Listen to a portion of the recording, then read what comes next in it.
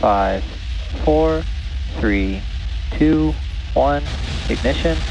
Engines full power. And liftoff of Galileo L13. Go SpaceX, go Falcon. Vehicle is pitching downrange. Stage one propulsion is nominal.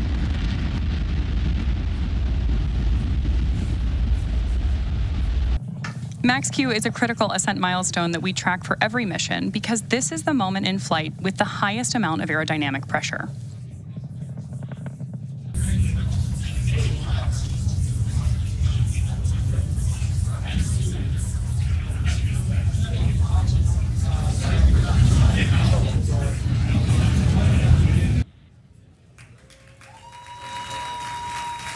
And MVac ignition.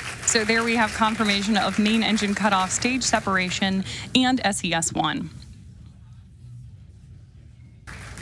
Now, from here on out, our two stages are following different trajectories.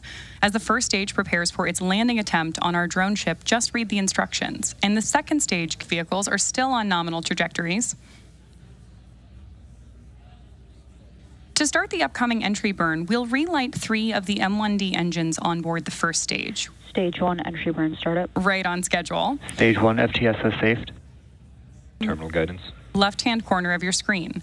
As the booster continues to make its way to our drone ship, just read the instructions.